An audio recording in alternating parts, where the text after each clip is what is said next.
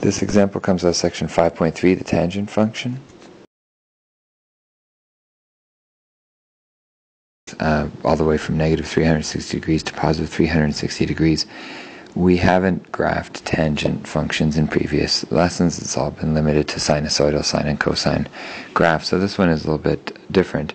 If you put the sine graph in calculator, it does a decent job if your windows are okay.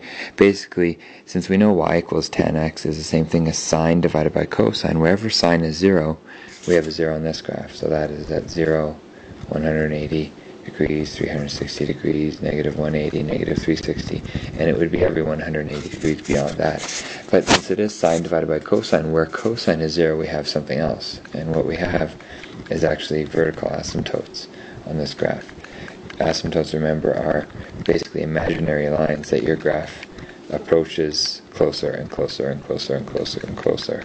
And so uh, if I label these x equals 90 degrees, x equals negative 90 degrees, x equals 270 degrees, and x equals negative 270 degrees, and you'd see again that they are 180 degrees apart and they would keep you'd have more and more and more if you kept going further and further to 450 negative 450 etc in between your graph does something like this. And that's one full cycle of a tangent graph right there. It turns out its period is only 180 degrees. And so that's all we would need to say okay now repeat that. So you have the same thing in here uh, the same thing over here to the left and we have a piece of that here and a piece of it here since we were only asked to go to positive and negative 360 as our limiting factors. The tangent graph has no amplitude uh, if we're asked to describe it because of the fact that it has no max and min. It goes infinitely high and low, so you can't say max minus min over 2. It does have a period. Its a period is 180 degrees, as I mentioned a second ago, half as big as the period of sine or cosine. Now, if I talk about its domain and range, the domain is a little bit complicated. The range is not complicated at all, so I'll start there. y is an element of all real numbers. y can be anything uh, on this graph. It goes, like I said, as high and as low as you want it to. The domain, though, is a little bit trickier because the domain is everything in between all these asymptotes. So you have certain values that x can't be. x can't be 90, for example.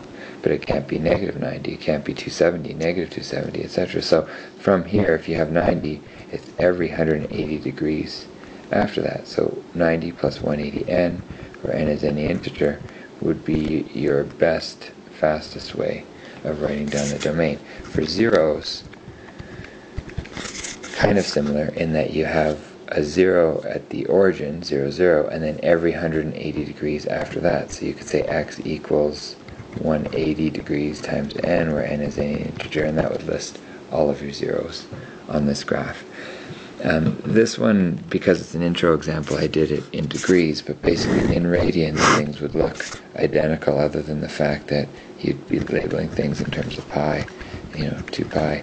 Uh, we would have asymptotes at pi over 2, 3 pi over 2, negative pi over 2.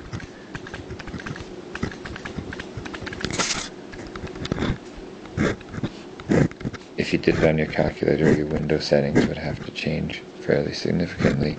But once you did that, you'd realize that you've graphed the same thing. Uh, your period would be pi radians, still no amplitude. Uh, the range is still all real numbers, but your domain is going to be x, where x can't equal pi over 2, uh, and then every pi from there.